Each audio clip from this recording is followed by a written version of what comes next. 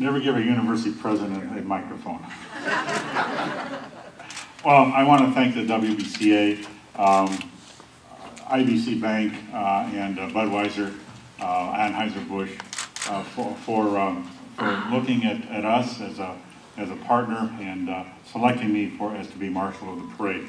Now, I, I, um, I haven't done a parade for a long time, uh, probably 35, 40 years. When I was in high, middle school and, and in high school, I, I, I was in parades for, for many, many, many years. And so, I'm, and I, I'm thankful to this point that I won't have to be behind the Clydesdales, that I'm in front of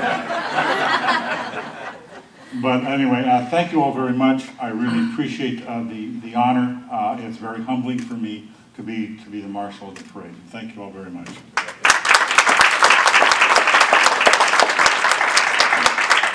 Good morning. It's such an honor to be here, and more important, to, to receive this distinguished uh, honor to, to be part of, of this long tradition event that has been over 120 years in Laredo. Uh, I was, I'm so impressed with the festivities and the tradition, but more importantly, this tradition that we have been embracing in Laredo for over 120 years since 1898. What an incredible organization. Uh, very few city, cities have that distinguished uh, acclaim to, to be able to celebrate such an important event. And again, I was so honored to be part of it. But again, this is my job, and this is what Pablo and I, we'd love to do this, is to help people succeed and empowering them to be successful, to be better citizens.